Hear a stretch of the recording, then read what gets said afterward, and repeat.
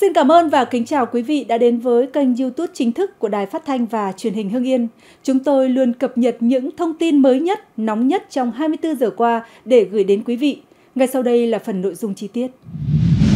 Ngày 14 tháng 3, đội cảnh sát hình sự công an quận Bình Tân, thành phố Hồ Chí Minh thông tin đang thụ lý điều tra vụ việc thiếu nữ 15 tuổi mất liên lạc với gia đình từ ngày 25 tháng 2.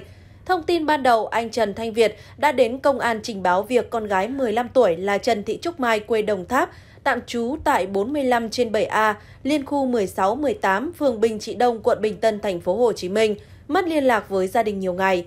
Ngày 25 tháng 2 năm 2024, Mai ra khỏi nhà đi đâu không rõ. Theo người thân, khi đi ra ngoài, Mai mang theo điện thoại. Tuy nhiên, gia đình không thể liên lạc với Mai. Gần 3 tuần trôi qua, gia đình đã chia nhau đi tìm kiếm khắp nơi nhưng vẫn không có thông tin gì nên đến cơ quan công an trình báo.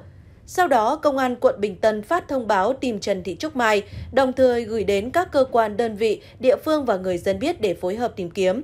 Cơ quan chức năng thông tin nếu ai phát hiện hoặc có thông tin về Trần Thị Trúc Mai thì báo ngay đội cảnh sát hình sự công an quận Bình Tân thành phố Hồ Chí Minh, địa chỉ 1114 Quốc lộ 1, phường Tân Tạo A, quận Bình Tân hoặc điện thoại 0933 070388 gặp cán bộ Trần Đức Trung để phối hợp và tiếp nhận.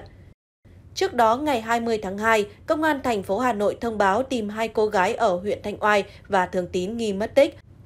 Sau nhiều giờ đăng tải, gia đình xác nhận hai cô gái đã trở về nhà. Trường hợp thứ nhất là chị Bàn Thị Thương 19 tuổi, trú tại xã Nghiêm Xuyên, huyện Thường Tín, Hà Nội, gần 10 ngày không liên lạc với gia đình. Khuya cùng ngày, gia đình tìm thấy chị Thương đang ở nhà một người quen.